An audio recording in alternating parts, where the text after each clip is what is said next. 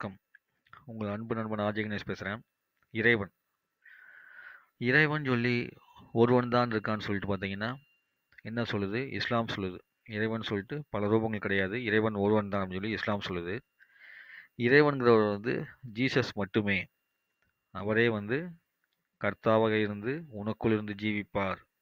உன்னை எப்போதும் வழிநடத்துவார் உன்னை கைவிடுவதும் இல்லை உன்னை விட்டு நான் பிரிவதும் இல்லை அப்படின்னு சொல்லி சொல்கிறாருன்னு சொல்லிட்டு ஜீசஸ் சொல்லுது.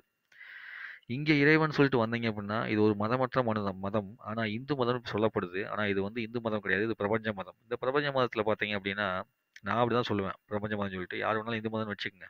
ஏன்னா இன்றைக்கி அடையாளத்துக்காக வந்து நம்ம வந்து இந்து மதம் சொல்லக்கூடுறோம் ஆனால் உண்மையில் பார்த்தா இது பிரபஞ்ச மதம். சரிங்களா? இந்த பிரபஞ்ச மதத்துக்கு வந்து பிரபஞ்சத்துக்கு மதம் கிடையாது. அதனால் பிரபஞ்சத்தில் வாழ்ந்த ஒரு மனிதர்கள். ஓகேவா?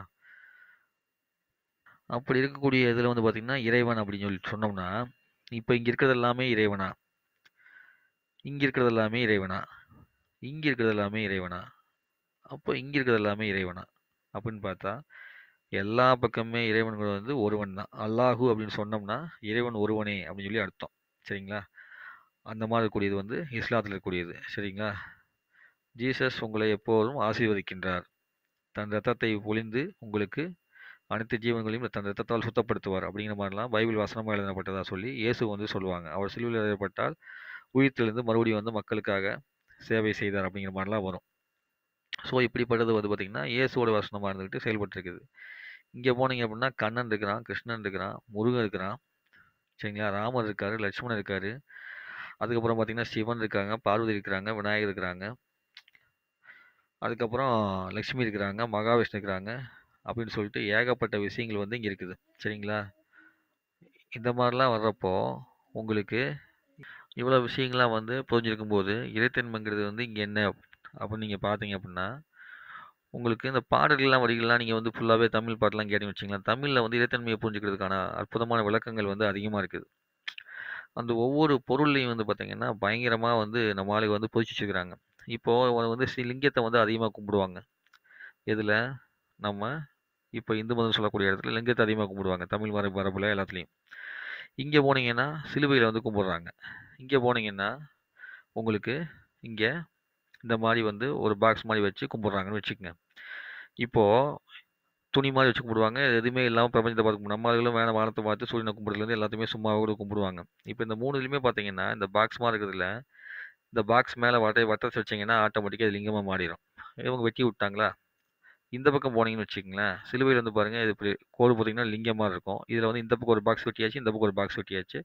கீழே வந்து இப்படி முழுசாக வரல இங்கே ஒரு பாக்ஸ் இங்கே ஒரு பாக்ஸ் வெட்டியாச்சு. ஆனால் இதுவும் வந்து லிங்கத்தோட கான்செப்டில் தான் வரும். இங்கேயும் டைரெக்டாக வந்து பார்த்திங்கன்னா லிங்கம்னு வச்சு போட்டு பார்த்தீங்கன்னா உங்களுக்கு லிங்கம் வந்து அதே மாதிரி வளைவாக தான் வரும்.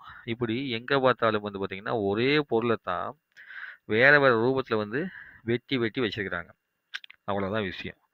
இங்கே வந்து ஒரு இடத்துல நான் போய் தொழுகை பண்ணுறதுக்காக ஒரு இடம். அதுக்கு ஒரு துணி வச்சுருக்கிறேன். வேறு எதுவுமே வந்து நான் வந்து உருவத்தை உருவாக்கலைன்னு சொல்லி அந்த உருவத்தை உருவாக்கி கொள்ளாமல் அவங்க என்ன பண்ணுறாங்கன்னா தன்னுடைய உடம்பு அதுக்காக வந்து தினந்தோறும் வந்து பண்ணக்கூடிய ஐந்து அஞ்சு வயல் தொழுகை அப்படின்னு பண்ணக்கூடியவங்க இங்கே.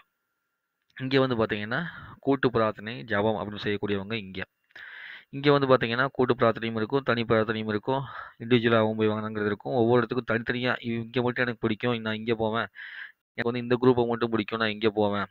எனக்கு இதில் இருக்கக்கூடிய நாலு பேர்த்துலேயும் எனக்கு முருகனை மட்டும் பிடிக்கும் விநாயகர் மட்டும் பிடிக்கும் சிவனை மட்டும் பிடிக்கும் பார்வதி மட்டும் பிடிக்கும் நந்தியை மட்டுமே பிடிக்கும் மயிலை மட்டுமே பிடிக்கும் அப்படின்னு சொல்லிட்டு சூலாயத்தை மட்டும் பிடிக்கும் அம்மனை மட்டும் பிடிக்கும் அப்படின்னு சொல்லி பல ரூபத்தில் வந்து செயல்படுவாங்க. இப்படி இப்படி எல்லாம் செயல்படும் போது இதில் வந்து எது இறை எது இறை இல்லை அப்படின்னு தெரிஞ்சுக்கணும் அப்படின்னா நீங்கள் வந்து உண்மையை புரிஞ்சுக்கிட்டீங்க அப்படின்னா இறைவனுங்கிறது வந்து ஒன்று தான் அதைத்தானடா நாங்கள் ஆயிரத்துல ஆரம்பத்துலேருந்து சொல்கிறோம் மற்றதெல்லாம் உருவழி பண்ணாதீங்க. அது தேவையில்லை. அந்த மாதிரி உருவெல்லாம் பண்ணாதீங்க அப்படின்னு சொல்லி தயவு செஞ்சு சொல்ல தேவையில்லைங்கிறேன். உங்களுக்கு இந்த பக்கம் பிடிச்சிருந்தது அப்படின்னா நீங்கள் இந்த பக்கம் இருந்து வணங்குங்க. இந்த பக்கம் பிடிச்சிருந்ததுன்னா இந்த பக்கம் இருந்து வணங்குங்க. அதுதான் வந்து இறைத்தன்மையுடைய தர்மம். நீ இந்த பக்கம் தான் வான்னு சொல்லி இன்னொரு மனிதனுடைய உணர்வுகளை உள்ளே பூந்து அவனை காயப்படுத்துகிற வேலை இங்கேயோ இங்கேயோ இருந்து செய்யவும் கூடாது. இங்கே இந்த மாதிரி வணங்குறவங்களை வந்து நம்ம இங்கேருந்து கேலியும் பண்ணக்கூடாது. இந்த மூணு வேலையுமே பண்ணாதீங்க முதல். அதை நீங்கள் பண்ணாமல் இருந்தாலே நீங்கள் இறைத்தன்மைக்கு வந்து போக போகிறீங்கன்னு அர்த்தம். யாருக்கு என்ன பிடிச்சிருக்கோ அதை பண்ணுறாங்க அவ்வளோதான் இறைவனை வணங்குறதுக்கு வந்து பார்த்தீங்கன்னா இப்படி தான் இருக்கணும் அப்படி தான் இருக்குங்கிற ரூல்ஸ் அண்ட் ரெகுலேஷன்லாம் கிடையாது. எந்த ரூபத்தில் வேணாலும் இருந்து வணங்கலாம். அந்த மாதிரி வணங்குறதுல இறைவன் தன்மை வந்து பார்த்தீங்கன்னா வச்சுங்களேன் உபதேச பொருளாக மாறியிருக்கிறேன் என்னென்னா இந்த ஒரு பாட்டு இருக்குது. இந்த பாட்டிலே வந்து பார்த்தீங்கன்னா உபதேச பொருள் சூப்பராக இருக்கும். உள்ளத்திலே நீ இருக்க உன்னை நம்பி நான் இருக்க. உள்ளத்திலே நீ இருக்க உன்னை நம்பி நான் இருக்க வெள்ளிமலை ஆண்மகனே வேலையா? என் வாழ்வு நலம் காண கடைக்கண் பாறையா? என்ன சொல்றாரு என் வாழ் வாழ்வில் நலம் காண கடைக்கண் பாறையன் பாரு உள்ளத்திலே நீ இருக்க உன்னை நம்பி நான் இருக்க வெள்ளிமலையான் மகனே வேலையா? என் வாழ்வில் வளம் காண கடைக்கண் பாறையா? கடைக்கண் பாறையா? அப்படின்னு சொல்கிறாங்க அப்போ சொல்லும்போது உள்ளத்தில் தான் இறைவா நீ இருக்கிற. அந்த உள்ளுக்குள்ளே இருக்கிற உன்னையே நம்பி நான் இருக்கிறேன். இப்படி இருக்கக்கூடிய நீ வந்து என்னுடைய வாழ்வு நலம் காண்றது கடைக்கண் பாரியான்னு சொல்கிறேன் பார்த்தீங்களா அந்த கடைக்கண் என்ன? அப்படிங்கிறது தான் உபதேச பொருள். அந்த கடைக்கண் பார்வை கிடைச்சது அப்படின்னா எல்லா விதமான துன்பமும் தீர்ந்துடும் அந்த கடைக்கண் தான் முக்கியமான கண். அந்த கடைக்கண் என்ன? அப்படிங்கிற கான்செப்ட் வருது. சரிங்களா? இப்படி கல்லிலே கலைவண்ணம் கண்டான் அப்படின்னு சொல்லிட்டு பாட்டு பாடுறான். ஸோ கல்லிலே கலைவண்ணம் கண்டான் அப்படிங்கும்போது இந்த கல்லை வந்து பார்த்திங்கன்னா கலை. ஒவ்வொன்றும் ஒரு கலை சம்மந்தப்பட்டது அதுதான் அந்த பாடலுக்குரிய பொருள். அந்த கலை என்ன கலை? அது தெய்வீக கலையா ஆன்மீக கலையா இப்படின்னு சொல்லிட்டு பல ரூபத்தை வந்து பதிச்சு வச்சுருக்கிறான். கல்லே கலைவண்ணம் கண்டான். இங்கே கல் கல் இல்லையான்னு பார்த்தீங்கன்னா இங்கேயும் கூட கல் இருக்குது. சிம்பிளாக அவங்க கலைவனத்தை கண்டுட்டாங்க அப்போ என்ன ஆகுறாங்கன்னா ஏன் இங்கே இருக்கவங்க மட்டும் ஞானம்னு சொல்கிறாங்க மூணாவதுன்னு சொல்கிறாங்க ஞானப்பால்னு சொல்கிறாங்க இங்கே இருக்கவங்க ஏன் சொல்கிறதே இல்லை? இவங்க ரெண்டு பேருமே ஏன் சொல்கிறதே இல்லை? காரணம் என்னென்னா அவங்க வந்து ஒன்றை ஃபிக்ஸ் பண்ணி வச்சுட்டு அதில் பயணம் பண்ணிருக்கிறீங்க அதனால் ஃபிக்ஸ் பண்ணி வச்சு பயணம் பண்ண வேண்டாங்கிறதா என்னுடைய கருத்து. அங்கே இருக்கிறவங்களும் பார்த்தீங்கன்னா சித்தரில் இருந்துக்கிறாங்க. அவர் சித்தர் பேர்லாம் ஒரு முஸ் இஸ்லாம் சித்தர் கூட இருந்திருக்காரு. அவரை கேட்டிங்கன்னா இங்கேருந்து போனதாக சொல்லி புக்கில் எழுதியிருப்பாங்க. அது எந்த அளவுக்கு உண்மைன்னு தெரில ஸோ அங்கேயும் சித்தர்கள்லாம் இல்லாமலாம் இல்லை. இருந்திருக்கிறாங்க. இங்கேயும் அந்த மாதிரி ஞானிலாம் இருந்திருக்கிறாங்க. இப்போ நிறைய பேர் வந்து பார்த்தீங்கன்னா என்கிட்ட ஃபோன் பண்ணி கூட சில நண்பர்லாம் கேட்குறாங்க. இந்த மாதிரி ஐயா நாங்கள் இங்கே இருக்கிறோம் இந்த மாதிரிலாம் இருக்கிறோம். நாங்கள் வந்து எங்களுக்கும் இறைத்தன்மை மேலே ஜாஸ்தியாக இருக்குது. ஒரு சில சைவ சித்தாந்தத்து மேலே ஆர்வம் இருக்குன்னு சொல்லிட்டு இந்த கிறிஸ்டின் வழிமுறையிலேருந்து வந்தவர் அவர். அவர் சொல்கிறார் சைவ சித்தாந்தம் மேலே ஆர்வம் இருக்குது அப்படின்னு சொல்லி சொல்கிறாங்க இப்போ நிறைய பேருக்கு அங்கே தாகம் இருக்குது. இல்லாமலாம் இல்லை. அந்த தாகம் இருக்கிறவங்க எல்லாருமே வந்து பார்த்தீங்கன்னா இங்கேருந்து மதம் மாறி வரணும் இனம் மாறி வரணுங்கிற அவசியம்லாம் இல்லை. உங்களுக்கு அங்கேயே பிடிச்சதுன்னா நீங்கள் அங்கேயே இருந்துங்க மதமும் இனமும் மற்ற மனிதனா உங்களால் மாற முடியும். அப்படி மாறும்போது பார்த்தீங்கன்னா பல விதமான வெற்றி அடைய முடியும். அந்த மாதிரி உங்களுக்கு இந்த பாடல் வரிகள்லாம் வந்து பார்த்தீங்கன்னா பயங்கர அற்புதமான உபதேசம்லாம் தாங்கியதுல உங்களுக்கு புரியணும் அப்படின்னா அந்த உண்மை இறைத்தன்மை புரியணும் அப்படின்னா நீங்கள் வந்து இறைத்தன்மை கூட பயணம் பண்ணணும். இதுக்குள்ளே ஒவ்வொன்றுக்குள்ளேயே ஆழமை இறங்கி பார்க்கணும். சும்மா உருவ உருவ வழிபாடு வச்சுருக்கிறாங்க வழிபாடு வச்சுருக்காங்கன்னு சொல்லிட்டு நீங்கள் ஒவ்வொன்றையும் கல்லாலையும் மண்ணாலையும் அடித்து உடைக்கிறது ஏதோ ஒரு கலவரம் பண்ணிக்கிட்டு நான் தான் பெருசு நீ தான் பெருசுன்னு சொல்லிட்டு ஒவ்வொரு மத ம மதத்துக்காரங்களும் வந்து பார்த்தீங்கன்னா ஏய் கோயில் நாங்கள் இடிக்கிறோம். கோயில் ஒன்றுமே ஒன்றுமே பண்ண முடியாது. சாமிக்கு மேலாம் இல்லை. ஏமாத்து வேலை. அப்படின்னு சொல்கிறீங்களா கண்டிப்பாக வந்து அந்த சிலையை நீங்கள் இடிக்கிறதுனால ஒன்றும் ஆகப்படல உங்களுக்கு. சரிங்களா? ஆனால் ரொம்ப வருஷத்துக்கு முன்னாடி மூவாயிரம் வருஷம் நாலாயிரம் வருஷத்துக்கு முன்னாடி எல்லாம் வந்து பார்த்தீங்கன்னா இந்த மாதிரி ஒரு உருவத்தை உருவாக்கி நமக்கு ஏதோ வச்சுட்டு போயிருக்கிறாங்க அப்படின்னா அந்த மனிதர்கள்லாம் ஏதோ முட்டாள்தனமாக பண்ணியிருக்கிறாங்க அப்படின்னா கூட அந்த முட்டாள்தனம் என்னன்னு சொல்லி நீங்கள் பார்க்குறதுக்கு இறங்கி பார்க்கணும். அப்படி இறங்கி பார்த்தீங்கன்னா தான் உங்களுக்கு வந்து பார்த்தீங்கன்னா ஒரு உண்மையே தெரியும். அப்படி உண்மையை தெரிஞ்சிக்காமல் அந்த மனுஷனுக்கு வச்சதெல்லாம் உதாசனப்படுத்தி எட்டி உதைக்க உங்களால் எப்படி மனசு வருது? என்ன காரணத்தினால இப்படி எட்டி உதைக்கிறீங்க? நீங்கள் பிறந்ததுக்கப்புறம் இது மாதிரிலாம் உருவாக்கி வச்சாங்களா? இல்லை இது மாதிரி உருவாக்கி வச்சாங்களா? இல்லை இது மாதிரி உருவாக்கி வச்சாங்களா? நீங்கள் என்ன ஒரு இப்போ ஒரு மிஞ்சி போனால் ஒரு அறுபது வயசு ஆளாக வாழ்ந்துருப்பீங்களா? இல்லை எழுபது வயசு ஆளாக வாழ்ந்துட்டுருப்பீங்களா? ஒரு பெரிய தலைவனுக்கே கேள்வி கேட்குறேன். ஒரு ஒரு எண்பது வயசு தொண்ணூறு வயசு. அட குடு குடுன்னு வா இப்போ நிறைய பேர் வந்து தலைவனுங்கிற போதையில் தன் கடைசி சாகும் நொடி வரைக்கும் அடுத்தவனை துன்பப்படுத்துறவனாவே இருக்கிறான். ஏன்னா அந்த அளவுக்கு வந்து பார்த்தீங்கன்னா பதவி ஆசையும் பண ஆசையும் அவனுக்கு பிடிச்சி போய் அவன் வாழ்க்கையினே என்ன புரிஞ்சிக்காம நரகத்திலேயே வாழ்ந்த நரகத்தையே மற்றவங்களுக்கு கொடுக்குறவனா மாறிடுறான். அதனால தான் இதெல்லாம் உடைக்கக்கூடிய தன்மையெல்லாம் வருது. எடுக்கக்கூடிய தன்மையெல்லாம் வருது. அடுத்தவங்க திட்டக்கூடிய தன்மையெல்லாம் வருது. எதுக்கு அதெல்லாம் பண்ணுறீங்க எல்லாருமே ஒரு காலத்தில் இந்த உலகத்தை விட்டு போயிடுறோம். இந்த உடம்பு வந்து எந்த விதமான மண்ணுக்கு உபயோகமாக போயிடுது. வாழும்போது தான் இந்த உடம்பை தெரிஞ்சுக்கலாமே. இந்த உடம்பை வந்து திரும்ப வந்து கொடுக்க முடியுமா? அந்த பூமிக்குன்னு பார்க்கலாமே. சத்குரு சொல்லுவார் இந்த உடம்புல வந்து உலகத்தில் வந்து இந்த உடம்பு வந்து எல்லாத்தையுமே இந்த பஞ்சபூதம் கொடுத்துச்சு நீ போகும்போது அந்த உடம்பு அதே மாதிரியே திருப்பி கொடுக்கணும். அப்படின்னு சொல்லுவார். ஏன் அப்படி சொல்கிறாருன்னா உடம்புல நோயோடு கொடுக்கக்கூடாது. கொஞ்சம் நோய் இல்லாத உடம்பாவே திருப்பி கொடுத்தோம் அப்படின்னா அது பல விதத்தில் வந்து அந்த மண்ணில் போய் சேர்ந்து இதாக இருக்கும். அப்படிங்கிற மாதிரிலாம் அவருடைய தாட்டில் சொல்லுவார். ஸோ திருப்பி கொடுக்கும்போது இயற்கைக்கு நம்ம அதே மாதிரியே கொடுக்கணும். அந்த மாதிரி நம்ம கொடுக்கறது இல்லை அப்படிம்பாங்க. ஸோ இப்படி நீங்கள் வந்து கொடுக்கக்கூடிய விஷயங்கள்லாம் வந்து பார்த்திங்கன்னா பயங்கரமாக இருக்கணும். அதுபோக வந்து பார்த்திங்கன்னா அதே பாட்டில் வெள்ளம் பள்ளம் நோக்கி பாய்ந்து வரும் வெள்ளமென அருள் படைத்த வள்ளலே நீ நினைத்தால் போதுமே. என் வாழ்வில் இன்பம் கோடி வந்து சேருமே அப்படின்னு சொல்லி பாடியிருப்பாங்க. வெள்ள பள்ளம் நோக்கி பாய்ந்து வரும் வெள்ளமென அருள் படைத்த பள்ளம் நோக்கி அந்த பள்ளம் எது? அந்த பள்ளத்தில் எந்த வெள்ளம் ஓடி வரும்? அப்படின்னு சொல்லிட்டு யோசிச்சிங்கன்னா அது அருள் படைத்த அந்த இறைவன் யார்? அப்படின்னு நீங்கள் பார்க்கணும். சரிங்களா? அதுக்கப்புறம் ஆடி வரும் மயில் மேலே அமர்ந்து வரும் பேரழகே. உன்னை நாடி வந்து சரணடைந்தேன் கந்தையா அப்படின்னு பாட்டு வரும். சரிங்களா? ஆடி வரும் மயில் மேலே அமர்ந்து வரும் பேரழகே.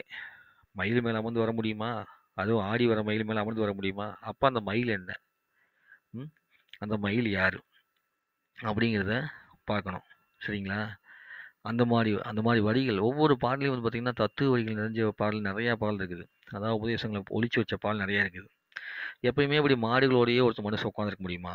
இத்தனை மாடுகளோட. அப்போ இந்த மாடு என்ன? மயில் வந்து ஒரு சில பேர்த்துக்கு மட்டும் தான் இருக்குது. இந்த மயில் என்ன? இந்த நீல கலர் இருக்காங்களே இந்த நீல கலர் என்ன? இப்படி எல்லாம் நீங்கள் வந்து ஆராய்ந்து ஆராய்ந்து பார்த்தீங்கன்னா கண்டிப்பாக வந்து இறைத்தன்மை வந்து என்னங்கிறது உங்களுக்கு தெரியணும் அப்படின்னு சொல்லிட்டு இருக்கும்போது அந்த இறைவனே ஒரு நாள் உங்களுக்கு வந்து அதை காட்சி காமிச்சு ஒரு நல்ல குருமாட்டை அனுப்பிச்சு வச்சு உங்களுக்கான விடைகள்லாம் வந்து சொல்லுவார். அப்படிலாம் தெரியும் போது வந்து பார்த்திங்கன்னா அந்த வாழ்க்கையில் நீங்கள் வாழ்கிறப்போ உங்களுக்கு துன்பமாக இருந்தாலுமே போக போக போக போக போக போக இந்த உலகத்தில் கூடிய பிரபஞ்சத்தில் இன்பம் வந்து அதிகமாக கிடைக்க ஆரம்பிச்சிடும் ஏன்னா இப்போ வந்து நம்ம தமிழ்நாட்டில் இருக்கக்கூடிய பெரிய பெரிய தலைவர்கள்லேருந்து அதிகாரிலேருந்து யாருக்குமே வந்து பார்த்திங்கன்னா தமிழ்நாட்டில் பாதுகாக்கணும் அப்படிங்கிற எண்ணமே வரல. இப்போ மத்திய அரசோ மாநில அரசோ மீத்தேன் பைப்பை வந்து விவசாய நிலத்துக்கு நடுவில் போடுது அப்படின்னா பக்கத்து வீட்டில் நம்ம குப்பையை போடும்போது நம்ம அந்த வீட்டை பற்றி கவலைப்பட மாட்டோம். அதை பற்றி பிரச்சனை இல்லை. அந்த மாதிரி அவங்க இருக்கிறாங்க. கர்நாடகாவோ ஆந்திராவோ இல்லை வெளியில் வெளிமாநிலத்துக்கு எந்த மாநிலமோ மத்திய அரசோ டெல்லி அரசாங்கமோ இல்லை வெளிநாட்டுக்காரங்களோ யாராவது ஒருத்தர் வந்து நம்ம தமிழ்நாட்டுக்குள்ளே ஏதாவது ஒரு பிரச்சனையை பண்ணுறாங்க அப்படின்னா அந்த பிரச்சனையை பண்ணது வந்து பார்த்திங்கன்னா பக்கத்து வீட்டில் வந்து பிரச்சனை ஆச்சுன்னா ஒன்றும் இல்லைங்கிற சென்னப்ப அவனுக்கு. அவனுக்கு இங்கே இன்னும் உயிர் வாழ போகிறதுல அவங்க வெளியே உயிர் வாழ்கிறாங்க அதனால் அவன் வந்து இதை பண்ணுறான் ஆனால் நாம் உயிர் வாழக்கூடிய இடத்துல நடு மத்தியில் பைப்பை போட்டு வச்சுட்டு விவசாயிகளை வந்து துன்பப்படுத்தி எல்லா விதத்துலையுமே இணைஞ்சல் பண்ணி எவ்வளவோ துன்பத்தை கொடுக்குற அளவுக்கு நம்மளுக்கு எப்படி மனசு மாறிச்சு. ஏன் இப்படி ஒரு கல் நெஞ்சமான மனசு நமக்கு இருக்குது அப்படின்னா இறைத்தன்மை வந்து சுத்தமாகவே அத்து போன மாதிரி ஆகுது. அதனால தான் இப்போ தமிழ்நாட்டில் இறைத்தன்மையை பற்றி அதிகமாக வெளிப்படுது. ஏன்னா சக்தி வாய்ந்த மனிதர்கள் இந்த உலகத்தில் தேவை. இல்லைன்னா இது போன்ற முட்டாள் மனிதன் செய்கையால் ஒரு நாள் உலகம் அழிஞ்சாலுமே உலகம்னா என்ன? உலகம் மொத்தமாக அழிய போது ஒருவேளை தமிழ்நாடே வந்து பார்த்திங்கன்னா மீத்தேன் வாயுனாலேயோ இல்லை குடங்கள் அனுமதினாலேயோ ஏதாவது எங்கேயாவது அழிஞ்சு கிழிஞ்சு போகிற மாதிரி இருந்தாலுமே இந்த இறைத்தன்மையை உணர்ந்த மனிதர்களாவது வந்து பார்த்திங்கன்னா ஒரு சில பேர்த்த காப்பாற்றட்டும் இல்லை அந்த தன்மையில் காப்பாற்றவே முடியாதனால இறைத்தன்மையை உணர்ந்துட்டாவது சில பேர் வந்து இந்த விட்டு போகட்டுங்கிறதுக்காகவே பார்த்திங்கன்னா இப்போ ஆன்மீகம் வந்து அதிகமாக வளர்ந்துட்டு வருது. திறமை வாய்ந்த மனிதனும் சக்தி வாய்ந்த மனிதனும் இறைவனை புரிஞ்சக்கூடிய மனிதர்களும் உருவானாங்கன்னா தான் இந்த மாதிரி தீமையான விஷயங்கள் நடக்காமல் இருக்கும் இல்லைன்னா நடந்த விஷயங்களுக்கு வந்து பார்த்திங்கன்னா அவங்கள பாதிக்காமல் இருக்கும் ரெண்டு தான் காரணம். பாலில் கலப்படம் வந்துருச்சு. அதுக்கப்புறம் வந்து பார்த்திங்கன்னா அரிசியில் கலப்படம் வந்துருச்சு. இப்போ பிளாஸ்டிக் அரிசி வந்துருச்சு. இப்படி இத்தனையுமே வந்ததுக்கப்புறமும் கொஞ்சம் கூட கவலைப்படாமல் இதை பற்றிலாம் வாட்ஸ்அப்லேயோ யூஸ் யூடியூப்லேயோ ஃபேஸ்புக்லேயோ எதில் போட்டாலும் கவலையே படாமல் எந்நேரம் பார்த்தாலும் பார்த்தீங்கன்னா பணத்தை மட்டுமே சம்பாதிக்கக்கூடிய பெரிய பெரிய அதிகாரிகள் ஆ- ஆயிரத்தி எட்டு பேர் இருக்கிறாங்க. அவங்களாம் நினச்சாங்கன்னா ஒரு கையெழுத்தில் இந்த பிரச்சனைலாம் வந்து வராமல் உள்ளுக்குள்ளே வராமல் பண்ண முடியும். ஆனால் யாருமே எந்த தலைவருமே வந்து பார்த்தீங்கன்னா இந்த மாதிரி ஒரு செய்கையை செய்கிறதே இல்லை. அதெல்லாம் ஏன்னு தெரியல. ஏன்னு தெரியாதப்போ எனக்கு வேதனை ஜாஸ்தியாக இருக்கப்பெல்லாம் பார்த்தீங்கன்னா நான் இந்த இறைத்தன்மை தான் கேட்பேன். கேட்டுட்டு அவன் நினச்சிக்கிட்டு மூணாவது மேலே மூணாவது கண்ணில் கவனம் வச்சுக்கிட்டு நான் பேசாட்டு உட்காந்து இடத்துல உட்காந்துருவேன். ஐயா சாமி என்னைக்காவது வந்து ஒரு நன்மையை செய்யி. நான் ஒரு சாதாரண மனுஷனாக இருக்கேன். என்னால் எதுவும் செய்ய முடியல. இந்த பெரிய பெரிய தலைவர்கள்லாம் உருவாக்கி வச்சிருக்கிறேன் ஆனால் அவங்களாலையும் வந்து பார்த்திங்கன்னா எதுவும் செய்ய முடியாமல் அவங்களும் கட்டி போட்டுட்டு முட்டாள்தனமாக வந்து பார்த்திங்கன்னா கையெழுத்துலாம் போட்டு தமிழ்நாடே வந்து பார்த்திங்கன்னா பாதி நாடு வந்து என்னென்னமோ துன்பத்தில் பட்டு அவஸ்தைப்பட்டிருக்குது அப்படின்னு சொல்லிட்டு நான் பேசாட்டி அவன்கிட்ட வணங்கி காப்பாற்றுப்பா அப்படின்னு போயிட்டுருக்கேன். இது போல் அப்படி வணங்கி காப்பாற்றுப்பான்னு போகிறப்போ வந்து பார்த்திங்கன்னா இந்த இறைத்தன்மை வந்து எந்த விதமான வேலையும் செய்யாதப்போ ஒரு வெறுப்பு வரும். அப்புறம் ஏன்டா இதெல்லாம் உருவாக்கி வச்சுக்கிறான்? எதுக்கு வந்து முருகன் இவனை போய் கும்பிடணும்? எதுக்கு விநாயகன் சொல்லிட்டு இவனை போய் கும்பிடணும்? எதுக்கு சிவனன் சொல்லிட்டு இவனை போய் கும்பிடணும்? பார்வதி சொல்லிட்டு எதுக்காக போய் கும்பிடணும்? அல்லானோ ஏசுனோ சரிங்களா? இந்த மாதிரிலாம் போய் எதனால் கும்பிடணும்? அப்படிங்கிற கேள்வி வரும்போது அதுக்காக விடை தேடி அலையும் போது தான் ராஜேஷ் மூலமாக சிவகியை சந்தித்து உபதேசம் எடுத்து அதுக்கப்புறம் ராஜேஷ் உபதேசம் எடுத்து இவன் வந்து தெளிவாக தெரிஞ்சு ஓ இதெல்லாம் தான் நீங்கள் இருக்கக்கூடிய இறைத்தன்மை. அப்போ இறைத்தன்மை எங்கே இருக்குன்னா ஒவ்வொரு மனிதனுக்குள்ள ஒளிஞ்சிருக்குது. அந்த ஒவ்வொரு மனிதனுக்குள்ள ஒளிஞ்சிருக்கக்கூடிய இறைத்தன்மையை வந்து எந்த ஒரு மனிதனை தூண்டி எடுக்கிறானோ அந்த மனிதன் குருவாகவும் அந்த தோண்டி எடுக்கப்பட்ட அந்த சிஷியனாக இருந்த மனிதன் வந்து பார்த்தீங்கன்னா சுத்தமான மனிதனாகவும் நல்ல விஷயங்களை வந்து உருவாக்கக்கூடிய மனிதனாகவும் மாறிடுவாங்க. அப்படி மாறுறதுக்கு ஒரே ஒரு வழி என்ன அப்படின்னா இறைத்தன்மையை புரிஞ்சுக்கிட்டு அதை கூட பயணம் பண்ணணும். தினந்தோறும் இறைவனுக்கு வந்து நன்றி சொல்லணும். இந்த உலகத்தில் நீங்கள் நடக்கக்கூடிய பெரிய பெரிய விஷயங்களை வந்து உங்களால் தடுக்க முடியாதுன்னா கூட நீங்கள் வந்து பார்த்தீங்கன்னா இறைவனுக்கு நன்றி சொல்லி சொல்லி வாழ வாழ கண்டிப்பாக உங்களுக்கான வளர்ச்சியும் யாரையெல்லாம் காப்பாற்றணுமோ அந்த காப்பாற்றுறது உங்கள் மூலம் நடக்கணும்னா, அதுக்கான சக்தியும் கொடுப்பான் இல்லை அவனே வந்து இறங்கி வந்து காப்பாற்றிடுவான் சரிங்களா? தெய்வ மனுஸ்வரூபா அப்படின்னு சொல்லுவாங்க. அப்படி மனுஸ்வரூபத்துல வந்து காப்பாற்றுவார் ஸோ, அப்படி காப்பாற்றக்கூடிய தெய்வம் எங்கே இருக்குது? உள்ளத்திலே நீ இருக்க, உன்னை நம்பி நான் இருக்க, வெள்ளிமலையான் மகனே வேலையா, என் வாழ்வு நலம் காண, கடைக்கண் பாரையா, கடைக்கண் பாரையா. பள்ளம் நோக்கி பாய்ந்து வரும் வெள்ளமென அருள் படைத்த வள்ளலே நீ நினைத்தால் போதுமே. இன்பம் கோடி வந்து என்னை சேர்ந்து வாழுமே. ஆடி வரும் மயில் மேலே அமர்ந்து வரும் பேரழகே. நாடி உன்னை சரணடைந்தேன் கந்தையா. என் நலமளித்தும் அருள் புரிவாய் முருகையா. உள்ளத்திலே நீ இருக்க உன்னை நம்பி நான் இருக்க. வெள்ளிமலையான் மகனே வேணையா என் வாழ்வு நலம் காக்க கடை கண் பாறையா. கடை கண் பாறையா. அப்படின்னு சொல்லி அற்புதமான பாட்டாக வந்து பாடியிருப்பாங்க. இதில் ஒரு சில வரிகள்லாம் வந்து பார்த்திங்கன்னா கொஞ்சம் மாறி இருக்கும். அற்புதமான பாட்டு உண்மையிலேயும் தென்பழனி மலை மேலே தண்டவாணி கோலத்திலே கண்குளிர கண்டு விட்டால் போதுமே. என் உள்ளத்தில் அருள் உருவம் தோன்றுமே. அருள் காட்சி தோன்றுமேன்னு பாடியிருப்பார். சிறுகாளி கோவிந்தராஜோட பாடல் யூடியூப்ல இருக்குது. உள்ளத்திலே நீ இருக்குங்கிற பாட்டு. அந்த பாட்டை கேட்டு பாருங்க. ரொம்ப ரொம்ப அற்புதமான விஷயம். உபதேசம் எடுத்த மனிதர்கள் கண்ணை மூடி அந்த பாட்டை கேட்டாங்கன்னா இறைவன் நம்மகிட்ட தான் இருக்கிறான். அந்த இறைவனை பார்க்குறதுக்காக ஒரு உயிர் எப்படியெல்லாம் இயங்கும் அப்படிங்கிறத பற்றி ரொம்ப சுவாரஸ்யமாக இருக்கும். இது மாதிரி நிறைய பாடல்கள் வந்து பார்த்திங்கன்னா நம்ம முன்னோர்கள் வந்து எழுதி வச்சுக்கிறாங்க கவிஞர்களும் கண்ணதாசன் கண்ணதாசன் கவிஞரும் வந்து பார்த்திங்கன்னா பயங்கரமான க ஞானம் பெற்ற மனிதர். அதெல்லாம் நான் சிவகிட்ட போகும்போது தான் எனக்கு தெரியும். சரிங்களா? இதுக்கு ராஜசேகர் தான் நன்றி சொல்லணும். இவ்வளோ விஷயங்கள் நான் பேச முடியுது எல்லாமே பண்ண முடியுதுன்னா அதுக்கு ராஜசேகர் தான் முதல் நன்றி சொல்லணும். ஏன்னா வந்து நான் உபதேசம் எடுத்து இப்போ ரெண்டு வருஷத்துக்கு மேலே ஆக போகுது. அதுக்கு முன்னாடியே வந்து பார்த்தீங்கன்னா மூணு வருஷத்துக்கு முன்னாடியே அவர் என்னை வந்து இந்த மாதிரி ஒரு விஷயம் இருக்கடா வாடான்னு சொல்லி கூப்பிட்டு நான் போகாம விட்டு அதுக்கப்புறம் நான் அவர்கிட்ட போய் சிவகிட்ட போய் உபதேசம் எடுத்து அதுக்கப்புறம் ராஜேஷ்கிட்ட போய் உபதேசம் எடுத்து இப்போ தெளிவான முறையில் உங்ககிட்ட இவ்வளோ வீடியோ பேசுகிறேன் அப்படின்னா அதுக்கு இறைத்தன்மையை வந்து புரிய வைக்கிறதுக்கு குருமார் கொடுத்த ஆசீர்வாதம். அந்த இறைத்தன்மையை கொஞ்சம் புரிஞ்சதுனால மட்டுமே இவ்வளோ பேச முடியுது. இல்லைன்னா பேச முடியுமா? இல்லைன்னா நீலவண்ண கண்ணனை பற்றி எப்படி நான் பேச முடியும்? ராமரை பற்றி எப்படி நான் பேச முடியும்? விநாயகரை பற்றி எப்படி நான் பேச முடியும்? அப்போ ராமர் விநாயகர் யார் தெரிஞ்சவொன்னே அது சம்மந்தமான பஞ்சபூத சக்தி பற்றி எப்படி பேச முடியும்? இப்படி ஒவ்வொன்றும் சங்கிலி மாதிரி தொடர்பு தொடர்பு வரதுனால வந்து பார்த்தீங்கன்னா பயங்கரமாக ஆனந்தமாக உங்ககிட்ட நான் உரையாடிட்டே இருக்கிறேன். அப்போ இறைத்தன்மையை உங்களுக்கு புரியணும்.